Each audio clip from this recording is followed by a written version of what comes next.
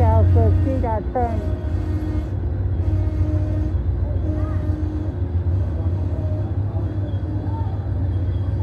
On the other side.